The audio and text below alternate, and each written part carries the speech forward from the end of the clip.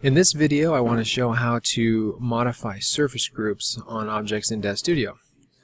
Um, in this example I just loaded a sphere and a sphere just has default as as a option right now. But let's say I want to go in and um, change it so I can do stripes. So I'm going to select the geometry editor tool and then you can click and drag as you can see uh, to to select geometry. Let me go to tool settings pane.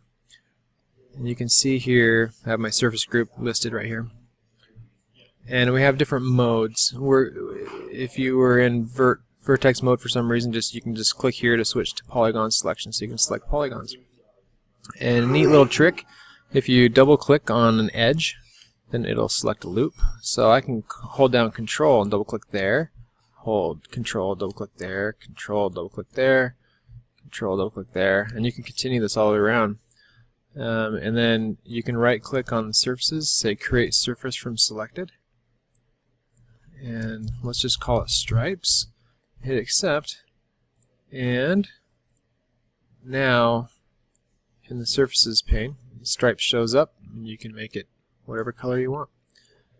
So if you have a need to change surface groups on a model uh, you can go ahead and just modify them in this way and you should save in your scene file if you want to save it for future reference.